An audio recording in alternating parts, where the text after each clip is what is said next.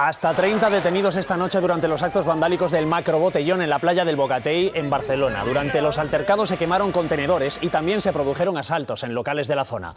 Con esta imagen despertaban hoy los vecinos. Es la tercera noche en el marco de las fiestas de la Merced en la que se producen incidentes.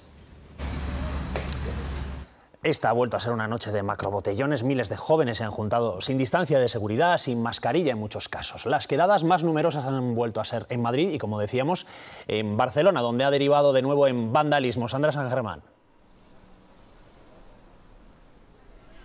Sí, una nueva noche de altercados, destrozos, daños en locales como este restaurante en el que estamos, donde, como ven los violentos, han reventado las cristaleras y han saqueado con todo lo que han podido. Hoy han podido abrir, el propietario ha podido abrir, pero nos habla de pérdidas de miles de euros y de un sentimiento de gran impotencia ante lo ocurrido.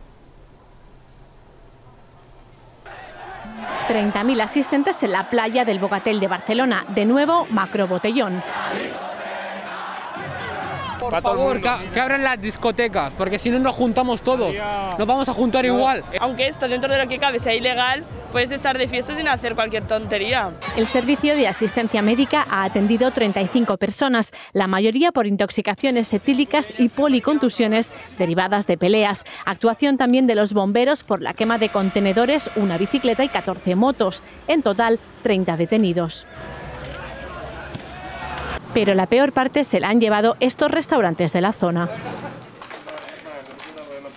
Que se han llevado de todo, o sea, sistema informático, llámale tablets eh, para trabajar, ordenadores, portátiles, todo el sistema de reservas una serie de 30 o 40 personas en el interior, saqueándolo todo. Eh, igual alrededor de 50.000 euros no nos los va a quitar nadie. La líder de Ciudadanos, Inés Arrimadas, considera que los macrobotellones son la consecuencia de años de gobiernos separatistas y populistas. Por su parte, la alcaldesa de Barcelona, Ada Colau, asegura que nada tiene que ver el vandalismo con el derecho al ocio y ha vuelto a condenar los hechos.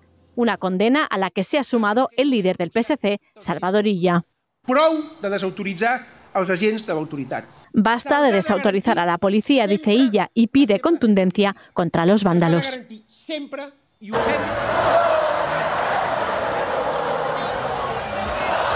Así esta noche el Parque de Berlín en Madrid.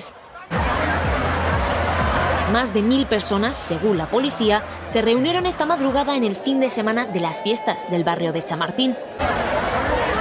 Aglomeraciones, aunque menos que las del pasado fin de semana. Este era el primero con las discotecas sin límite horario. De madrugada, la policía desalojó la plaza. Tercera noche de aglomeraciones en el País Vasco con varios detenidos por desorden público durante el fin de semana. Fiesta por la noche que con la luz del día se ve así. Kilos de basura mientras se iban los últimos de la fiesta. En Valencia, este era el sonido anoche en la Plaza de Honduras reunirse con todos los amigos, hacer botellón ahí con todos los colegas y despejarse un poco.